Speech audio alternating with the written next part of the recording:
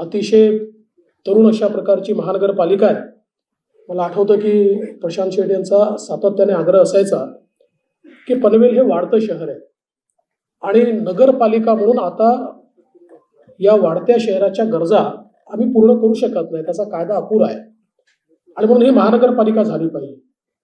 आणि दोन हजार सोळा साली आपण तो निर्णय केला आणि महानगरपालिकेमध्ये याचं रूपांतर केलं.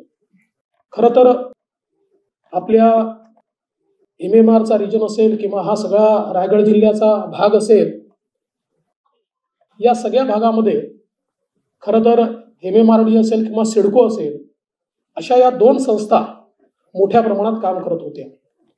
सिडको प्रामुख्यानं नवी मुंबईमध्ये जास्त काम करत होती.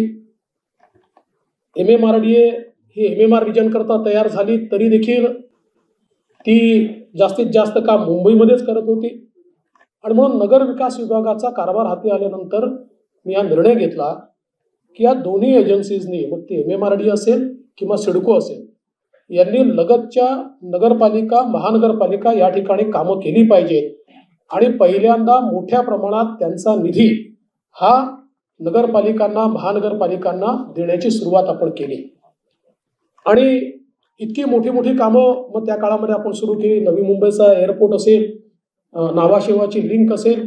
इथपासनं तर मोठ्या प्रमाणात कॉन्क्रीटचे रोड्स असतील हायवेज असतील मोठ्या प्रमाणात त्या ठिकाणी आपल्या फ्लायओव्हर्स असतील पिण्याच्या पाण्याच्या योजना असतील मलनिस्सारणाच्या योजना असतील असे वेगवेगळे.